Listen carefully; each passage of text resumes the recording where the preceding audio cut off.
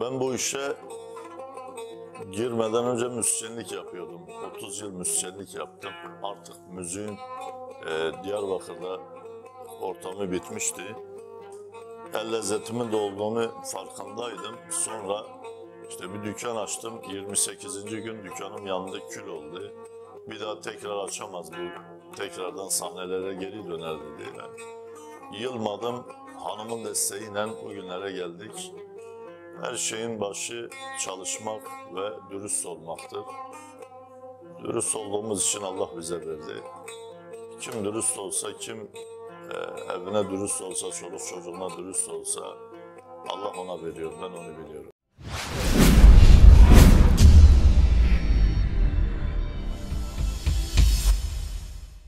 ...1967 Diyarbakır doğumluyum.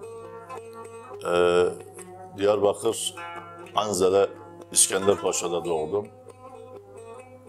Lise 1986'da Cumhuriyet Lisesi'nde e, sahne hayatımız başladı 86'dan ta işte bu yaşımıza kadar müzisyenlikle uğraştık.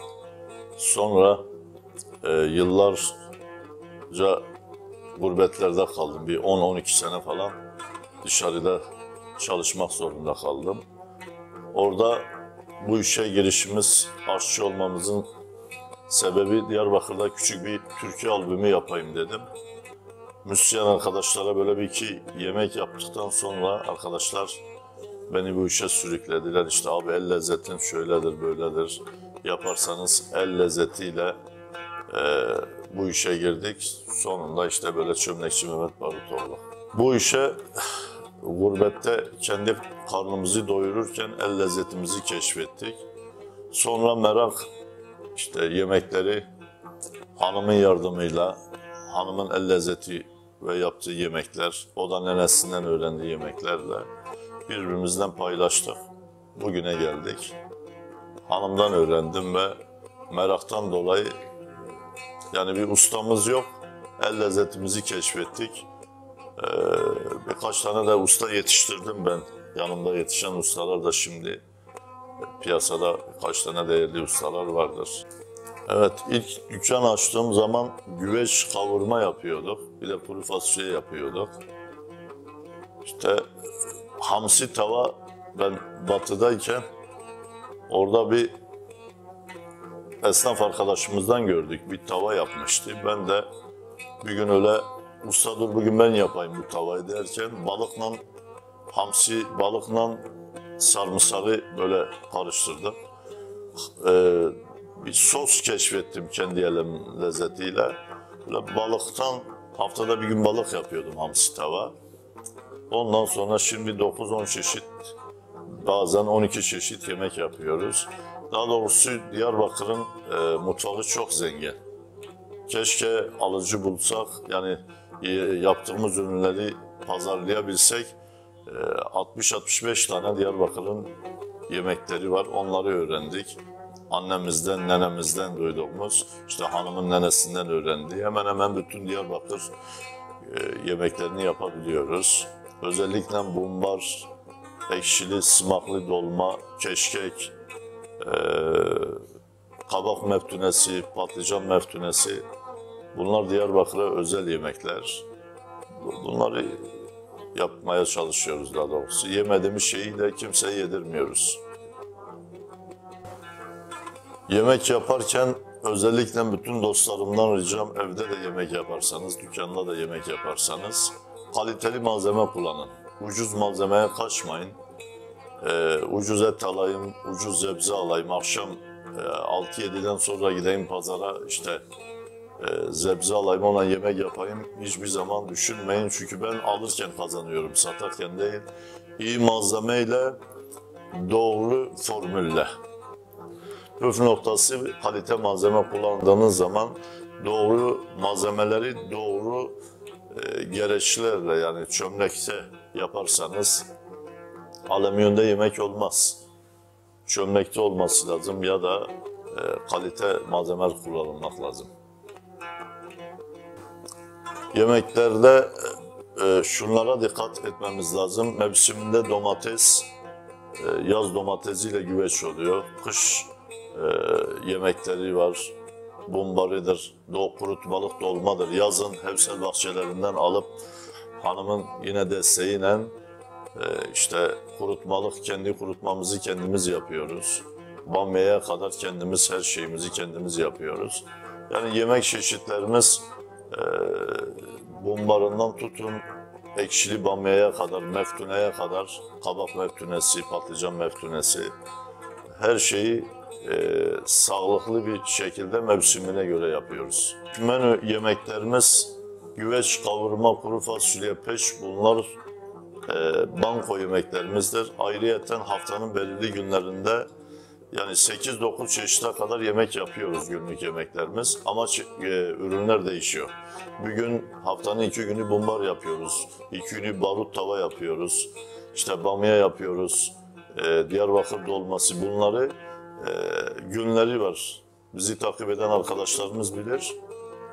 Hangi mevsimdeyse, kışınsa bir gün hamsi tava yapıyorum, bir gün işte e, dediğimiz gibi dolma yapıyoruz. Yaz yemekleri de ayrıdır ama genellikle 8-9 çeşit yemek yapıyorum. Hepsi çömlekte ya da tava yemekleri yapıyorum. Mehmet Barut'u tercih etmelerinin sebebi e, yemediğim şeyi yedirmiyorum. Ürünü alırken kötü malzeme, ucuz malzeme almıyorum. E, aynı zamanda hem kulağa hitap ediyoruz. Eski müzisyenim, eski sanatçıyım.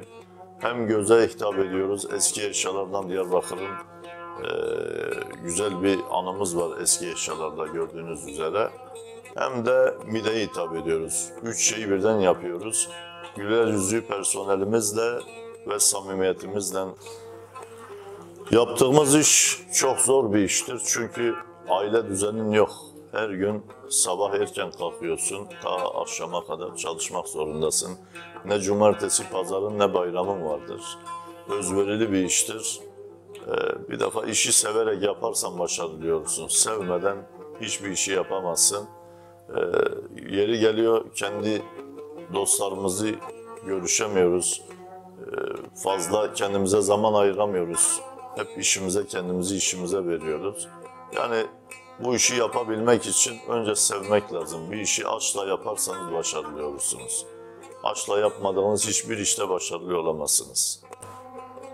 Bizim esnaf lokantası olduğumuz için e, sabahları çorbacı değiliz ama çorba ve paça da bulunduruyoruz. Sabah yakında olan esnaflar çorba ve paça içmeye geliyorlar.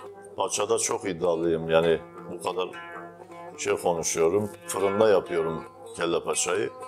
Ee, öğle servisi çok yoğun geçiyor. Bu şimdiki açtığımız yerde de akşam servisi de başladı.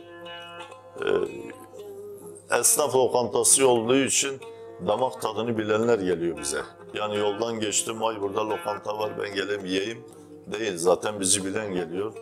Damağına güvenen damakçı insanların yeridir mekanımız. Yıllardır böyle insanları kırmamak için kendimi kırıyorum. Olsun. Sonunda öleceğiz, gideceğiz. Arkamızdan demesinler bu insan bizi kırdı. Bu insan paramızı yedi. Bu insan bize zulüm etti. Bu insan şöyleydi, böyleydi.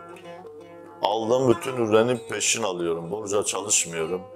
Hiçbir işçinin gömyesi şeyi bende kalmıyor. Çünkü alın teri, alın teri savunmadan verilmesi lazım. Zarar ettiğim günler de oldu. İflas ettiğim günler de oldu ama hak, işçi hakkı hiçbir gün yemedim. Hiç kim, bir esnafın hakkını yemedim. Kendi içimi yedim ama kimsenin işçini yemedim. Çalışan arkadaşlarımızla bütün iş yerlerinde iki şubede olduğu gibi abi kardeş gibi olmaya çalışıyoruz. Ee, çünkü bir aile ortamında olmazsa vakit geçmez. Hanımından, çoluk çocuğundan çok beraber çalışıyorsun. Ee, aile ortamı olduğu zaman iş daha güzel çıkıyor.